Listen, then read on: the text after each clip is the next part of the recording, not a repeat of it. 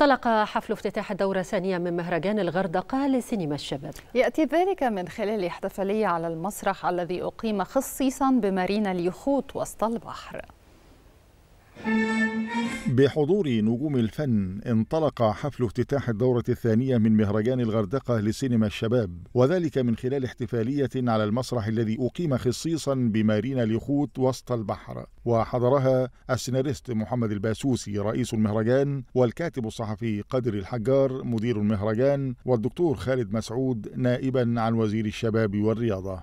مهرجان هناك أعتقد إن هو هيخدم على السياحة ويخدم كمان يعني كمان يسلط الضوء إن هم ممكن يجوا يصوروا دراما وأفلام سينمائية. ده اللي بنجري فيه دلوقتي وبنركز فيه إن العالم كله ليه ما بيجيش. إحنا عندنا كل الإمكانيات العظيمة سواء صحراء أو جبال أو بحار أو شواطئ أو كل الامكانيات مقامات النجاح موجودة إن هم يجوا يصوروا الأفلام العالمية والدراما العالمية تيجي تصور عندنا. في حوالي مثلا حاجة و70 فيلم من كل دول العالم معظمها من حوالي 32 دولة. في لجنة كانت بتختار الأفلام مجموعة من الشباب مختار مكتب فني كله الحمد لله كان من الشباب السنة دي.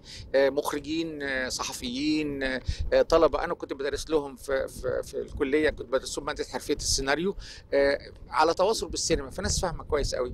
فالحمد لله اختياراتهم الأفلام كانت على مستوى الحدث يعني إن شاء الله. إدارة المهرجان قدمت لجان تحكيم المسابقات الأربعة لجمهور المهرجان كما شهد الحفل تكريم تجارب سينمائية ملهمة للشباب.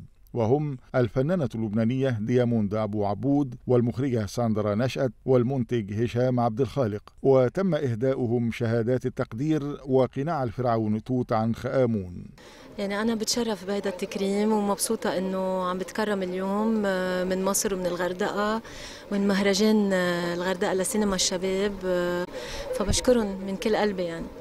مهرجان الغردقة لسينما الشباب تنظم مؤسسة فنون للثقافة والإعلام تحت رعاية وزارات الثقافة والسياحة والشباب والرياضة ومحافظة البحر الأحمر. وتعقد دورته الثانية في الفترة من التاسع عشر وحتى الرابع والعشرين من سبتمبر. ويتضمن مسابقات لأفلام الشباب من الأعمال الأولى لمخرجيها ومؤلفيها. أو الأعمال التي تتناول قضايا خاصة بالشباب من الأفلام الطويلة والقصيرة ومسابقات لأفلام الطلبة كما يخصص المهرجان جائزة تحت عنوان الجائزة الخضراء تمنح للأفلام التي تدعم فكرة الحفاظ على البيئة والمناخ.